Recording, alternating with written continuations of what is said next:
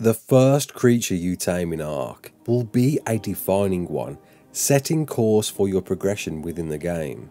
But which is the most favoured starter creature in Ark? You're right kids, it's Raasclark and welcome to another top 10, voted for by you on my community channels here on YouTube. And before we begin, this is a controversial one, with some people preferring certain dinos depending on whether they're playing PvE or PvP.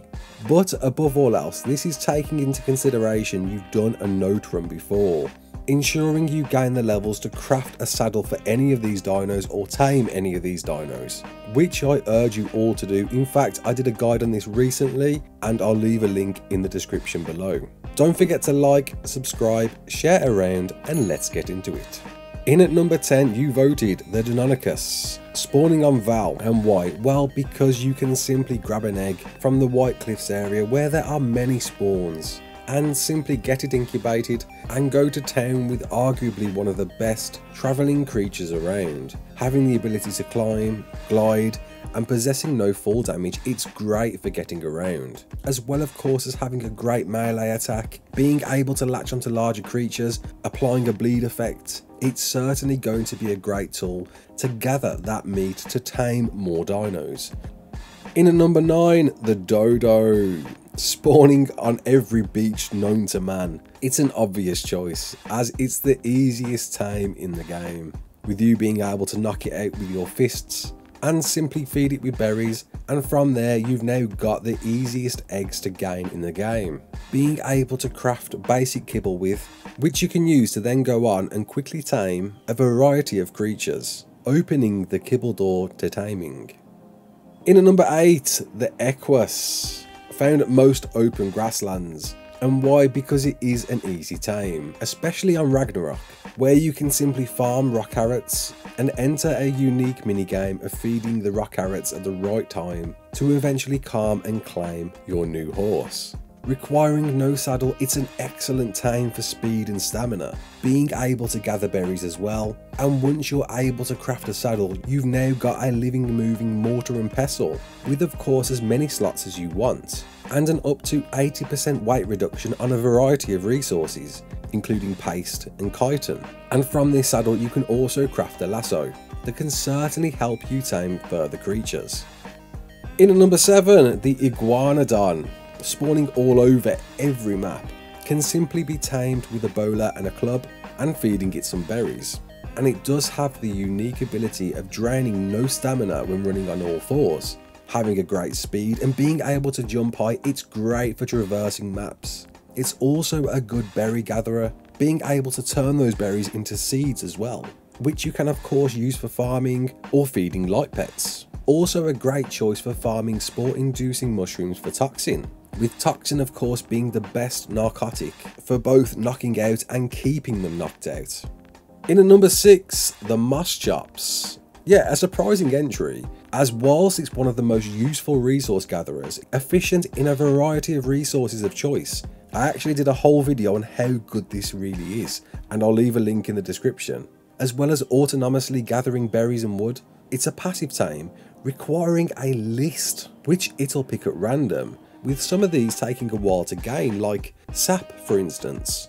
But they are all relatively easy to get, so I'm interested to understand why it's been put so high. Perhaps people are just getting lucky with the taming requirements, or they're just happy to farm the requirements first and foremost. It's not a bad one for travelling the map, although don't expect it to help in a fight as it will automatically flee away from any danger.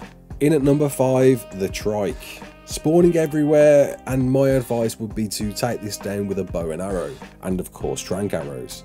Although you can get one to chase you till it runs out of stamina and then proceed to knock it out in the bum bum of course taming this one with berries it's an excellent berry gatherer second only to the therizino and the stego. And it's definitely a good choice for travelling around the map and transporting goods with its charge attack and good base weight it also inflicts a decent amount of damage, so being a good all-rounder and ultimately in PvP will become a great tank for soaking those bullets. In at number 4, the Raptor. Spawning everywhere you don't want it to. It is a fantastic early prime meat gatherer, defender and attacker, requiring a bola and I would encourage to go for tranq arrows, maybe a club if you get lucky. Feeding it meat to tame, but if you find a sheep around, kill that for mutton and you will tame one pretty damn quick. And it is a fast creature as long as the stamina provides, with a decent jump and giving you the ability to shoot from it helping to tame further creatures, and once you've tamed a few you will have an alpha boost, buffing health and melee, making them a force to be reckoned with. And of course in PvP, is good for pouncing on fellow bobs. In at number 3, the Parasaur, one of the most common spawns in the game. Simply being tamed with a bola and a club and a few berries, it is a good all-round transport dino.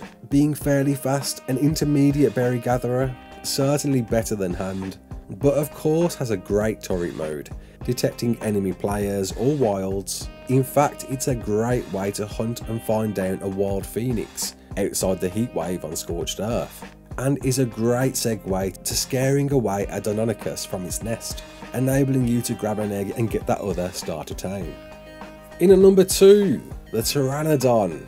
Certainly my choice for starter tame, and they spawn everywhere, simply being tamed with a bola and a club, and will tame quick enough with meat. Although if you've got a sickle, kill a few fish for some prime meat, and once tamed is your all access pass to the maps. Being able to of course fly around with a decent speed and being small enough to be stealthy, avoiding any of those larger tribes but don't underestimate its roll attack, which can be great against dinos and players. And certainly later game in PvP will be your throwaway scout. And before we get to number one, here's a special mention to the creatures that didn't just make the cut.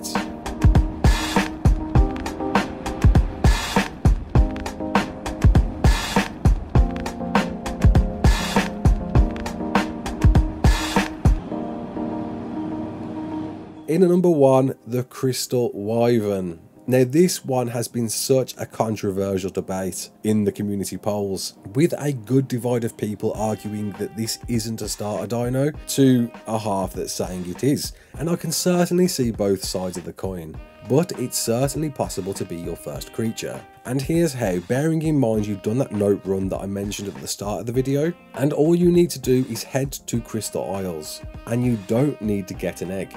All you need to do is farm some normal crystal and then find one without an air in the name, which you can normally find around the south of the map. Jump on the back of that wyvern and then proceed to passive tame it with crystals. And that's it. That's all you have to do.